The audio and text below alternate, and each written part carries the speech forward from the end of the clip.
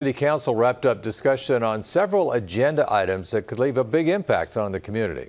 6 News' Johan Moran is on your side tonight, keeping track of those items for us. He joins us live in the studio. Johan, what's the latest? What can you tell us? John and Jacqueline, just minutes into their meeting today, city officials talked about the mayor's veto on an ordinance targeting vehicles parked on grass.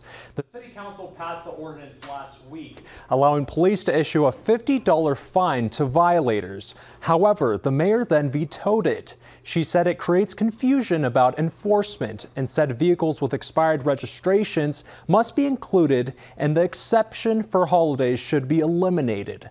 This afternoon, the council had the option to override the veto, but no motion was taken. Councilman Hug, who proposed the ordinance, says this doesn't mean it's dead.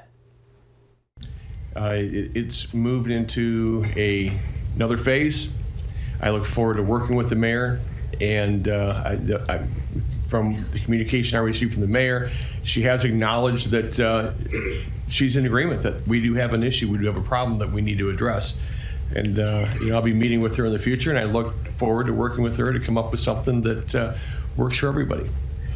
The City Council also approved several items clearing the way for redevelopments along 120th and Fort Streets. Those include the Roanoke Business Park, Tranquility Park, and the entertainment venue Chicken and Pickle.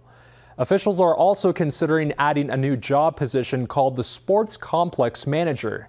This is someone who will oversee two new sports facilities, one at Tranquility Park and the other Levi Carter Park. This will be discussed in the next City Council meeting. John, Jacqueline.